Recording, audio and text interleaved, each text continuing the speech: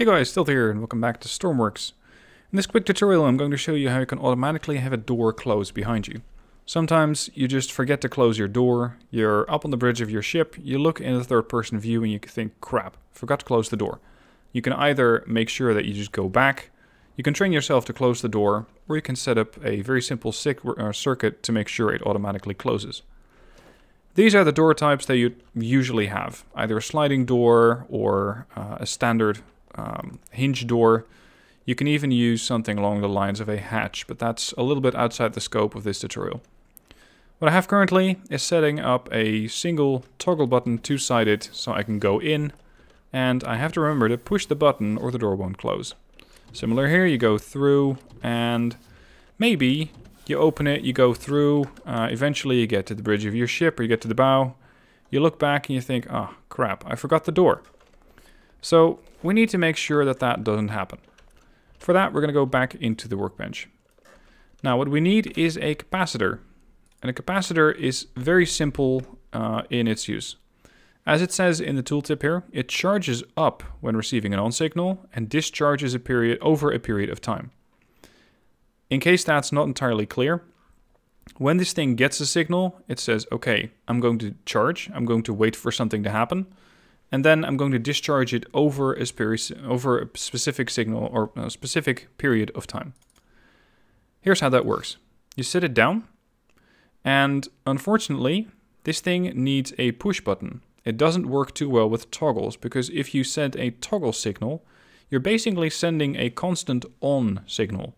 That's not what the capacitor needs. The capacitor needs to fire. So you send a signal, it says, okay, I'm going to charge, I'm going to discharge, and that's all that I'm going to do. You don't want a constant on signal.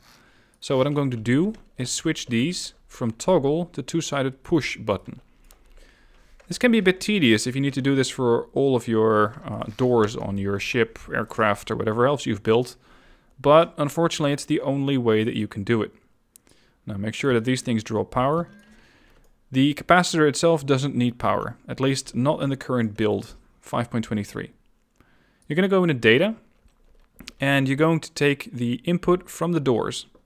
So this two-sided push button goes into the capacitor. That's the input. The output from the capacitor goes to the door.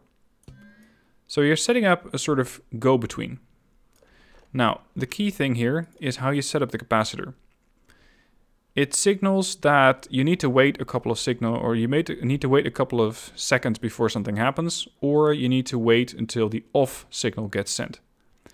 If I were to wait a couple of signals or seconds before the on signal gets sent, then the door is going to take a couple of seconds before it opens.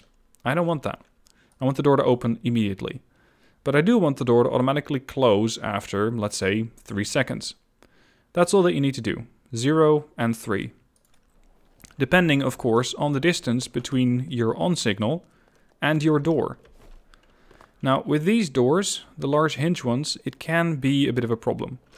Because you send an on signal and the door takes about a second, maybe a second and a half to open. So you send the on signal, I go through it, I'm on my way to the bridge, and the door has been closed behind me. If you set this capacitor too low, so say 2 seconds, it might not give you enough time to go through. So in these, uh, in the case of these large doors, I recommend that you take about three seconds. The other one is a bit faster because it's a sliding door. It doesn't need to um, expand too much before you're able to use it.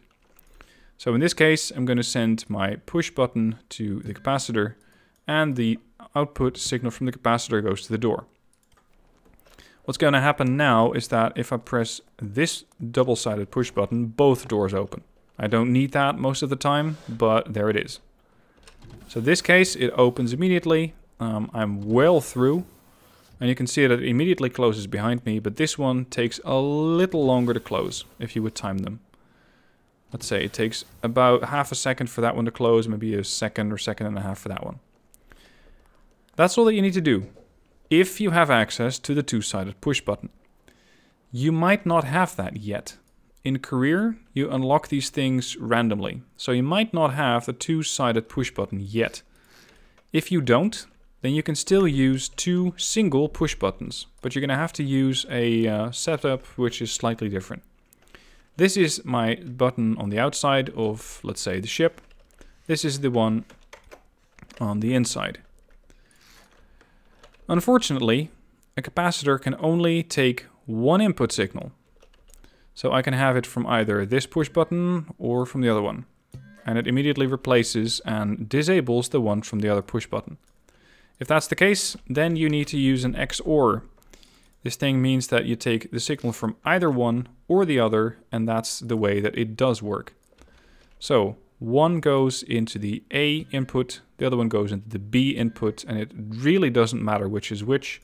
And then I go from the output there to the input of the capacitor. So now I can use either of these push buttons. Now I provide them with a bit of power. And let's test it out move to the platform, push the button, door opens, I go through, door closes. That's one side, and the other side works just as well. That's all there is to it. That is all there is to it. The capacitor in this case is your friend. It'll allow you to open the door and have it closed automatically. And you can have, of course, make or you can make these things as advanced as you want. You can have a door that opens um, you go through it, you wait a couple of seconds, then you expect another door to open, and you've created something along the lines of a watertight chamber. And of course, there's no pumps in there yet, I know, but you can use and build this as advanced as you can possibly dream it up. Anyway, that's it. Just use the capacitor, link it up, use XOR if you have still the standard push buttons. And remember, these things use push buttons. Toggle does not work. Have any questions? Let me know down below in the comments. And if you want to see any other tutorials, need further help, let me know down in the description or down in the comments below, or have a look in the description and you'll see the playlist with the other tutorials that I have for this game. Hope this was helpful. If it was, please give it a thumbs up so other people can find it more easily. And of course, have a look at the other tutorials if you need further help. Thank you for watching. See you soon for more.